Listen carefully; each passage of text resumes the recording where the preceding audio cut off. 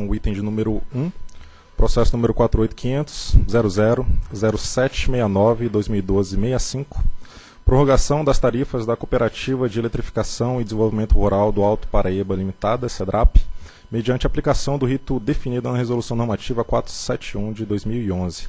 Relator, diretor André Peptoni da Nóbrega. O contrato de permissão de distribuição número 1/2008 e o seu primeiro termo aditivo, firmados entre a Cooperativa de Eletrificação e Distribuição do Alto Paraíba, CEDRAP, e o Poder Concedente, por intermédio da ANEL, prevê, senhores diretores, o processamento da primeira revisão tarifária para 31 de agosto de 2012.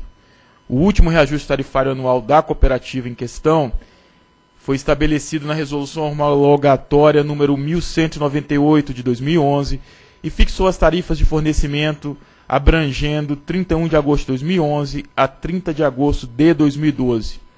Por meio da resolução normativa 471 de dezembro de 2011, foram estabelecidos os procedimentos a serem adotados em caráter provisório para a prorrogação das tarifas vigentes em função da falta de tempo hábil para aplicação das metodologias do primeiro ciclo de revisão tarifária das permissionárias de distribuição de energia elétrica. Em consonância com a Resolução Normativa 471 de 2012, a Superintendência de Regulação Econômica, a SRE, emitiu a nota técnica 285, datada de agosto, por meio da qual apresentou a seguinte proposição ao colegiado. Primeiro, prorrogar a vigência das tarifas de fornecimento de energia elétrica da CEDRAP, constantes no anexo 1, 2A e 5, que constam da resolução 1198-2011, aquela referente ao último reajuste tarifário, até que se ocorra o processamento definitivo da revisão tarifária periódica da permissionária.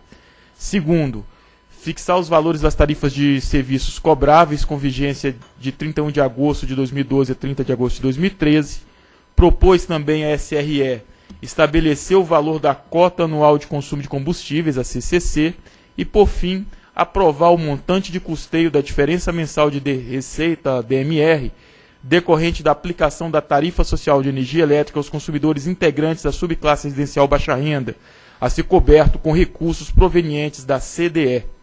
A Procuradoria-Geral da ANEL conheceu da minuta de resolução homologatória e a referendou. É o relatório.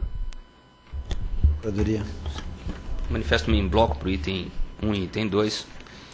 É, nos termos do artigo 3 da Lei 942796, compete à agência a homologação das tarifas. Os dois processos tratam de processo com instrução eminentemente técnica, com aplicação da Resolução Normativa 471 de 2011, sem maiores discussões jurídicas, entendo que os casos estão em condição de serem submetidos à apreciação do colegiado. As metodologias a serem aplicadas no primeiro ciclo de revisão tarifária das cooperativas permissionárias de distribuição de energia elétrica encontram-se ainda em fase de formulação no âmbito da audiência pública 19/2011.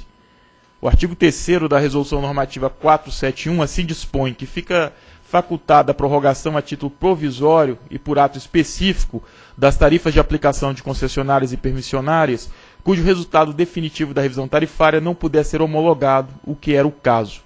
Assim, aplica-se às tarifas da CEDRAP, cuja revisão tarifária está contratualmente prevista para 31 de agosto de 2012, a regra provisória definida na Resolução 471 de 2011, com a consequente publicação de ato específico que prorrogue as tarifas fixadas por meio do anexo 1, 2A e 5 da Resolução Homologatória 1198 de 2011.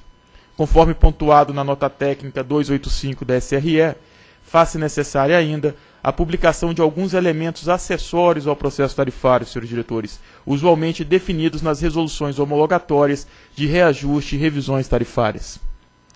Então, os processos acessórios seria a cota anual de consumo de combustíveis, a CCC. Estamos estima estimando aqui o valor anual de R$ 229.286,18, que serão pagas em 12 parcelas iguais os serviços co cobráveis, aqueles constantes do quadro S, que correspondem que corresponde à tarifa tetos que são fixados com vigência de 12 meses, baseadas em regra de atualização por índice de inflação, e também o montante de custeio da diferença mensal de receita, DMR, decorrente da aplicação da tarifa social aos consumidores integrantes da subclasse residencial baixa renda, que agora será coberto com recursos provenientes da CDE.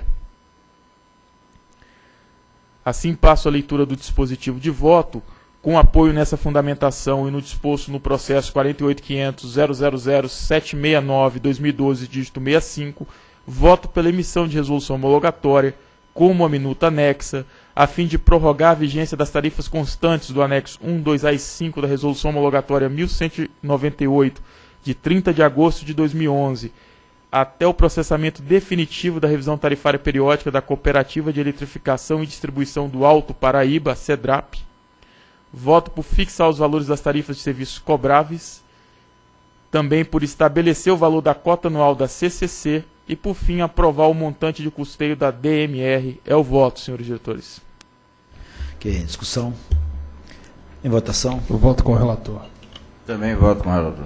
Também voto com o relator. Isso, decidiu prorrogar a vigência das tarifas constantes da resolução homologatória 198 até o processamento definitivo da revisão tarifária periódica da Cooperativa de Educação e Distribuição do Alto Paraíba, CEDRAP, com os demais detalhes colocados no voto do relator.